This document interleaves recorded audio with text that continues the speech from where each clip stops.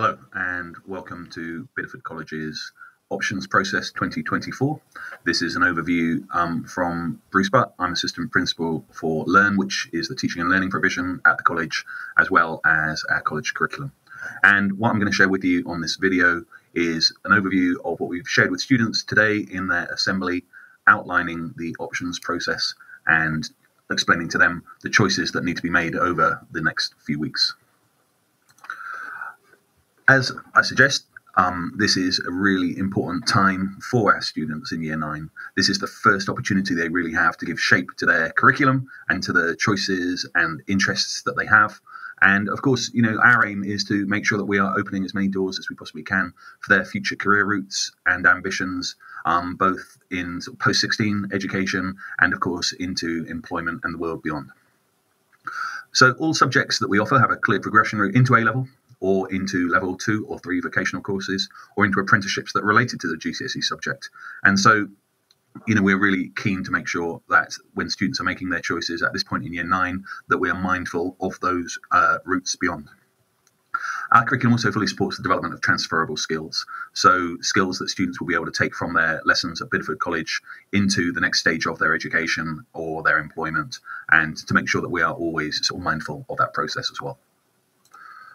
Um, just to outline what the implications of the options process are for our students in terms of their timetable. Um, year 10, uh, you can see, has nine lessons apiece for the subjects of maths, English, and science. Now, these are numbers of lessons across the fortnight.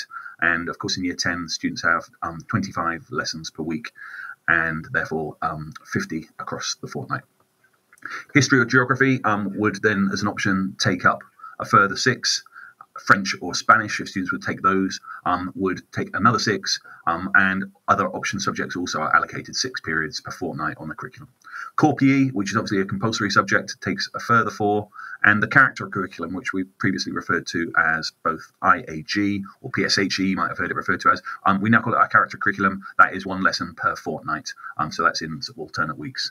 Obviously, you can see the numbers are significantly higher for the English Maths Science in year 11, and that's because we now have the compulsory period six. That's a really important part of our provision that allows us to really make sure that in those lessons, um, students are absolutely covering the entire curriculum, are rehearsing and are well prepared for their exams, and that we have gone over all of the content they might possibly need. So you can see that there's um, higher numbers there, um, and it's the period six that we run that allows us to do that.